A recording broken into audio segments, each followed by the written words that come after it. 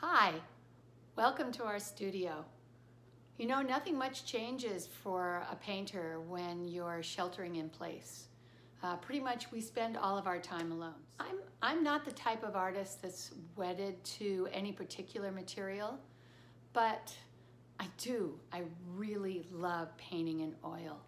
It, it's such an elegant medium. And you know, like what's more radical than to take a two-dimensional surface to describe a three-dimensional life, right? I've been haunted by these figures for several years.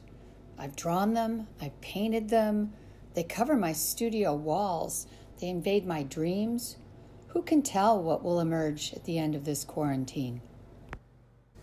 I really like disrupting the present with the past.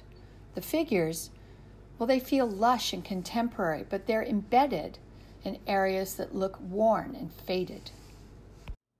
The figures are deity forms, and they're inspired by old textiles collected during my travels. Their purpose was to ensure virility, fertility, and food sources. But right now, they feel like protectors.